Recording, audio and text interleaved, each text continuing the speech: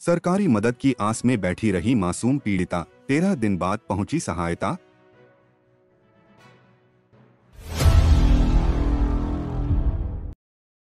नमस्कार मैं हूँ आपके साथ अंजना और आप देख रहे हैं द खबरदार न्यूज़।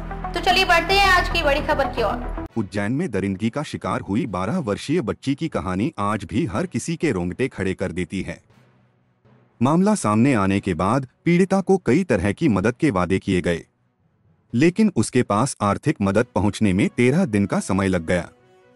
राशि पहुँचने में लग गए तेरह दिन, सतना जिला मुख्यालय से जैतवारा थाना इलाके के महज 25 किलोमीटर के फासले पर स्थित उस गाँव तक पचास हज़ार की आर्थिक मदद पहुँचने में पूरे तेरह दिन लग गए, जिस गाँव में उज्जैन की दरिंदगी की शिकार तेरह साल की छात्रा का घर है।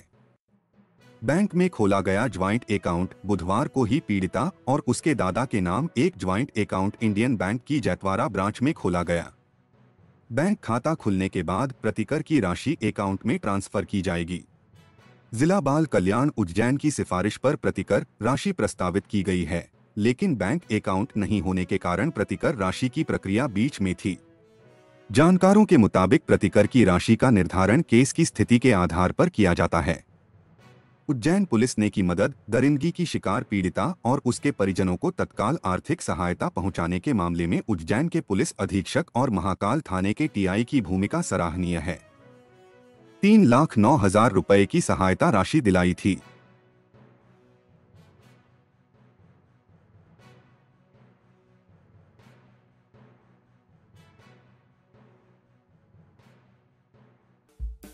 अगर आपको वीडियो पसंद आई हो तो वीडियो को लाइक करें शेयर करें और हमारे चैनल को सब्सक्राइब करना ना भूलें।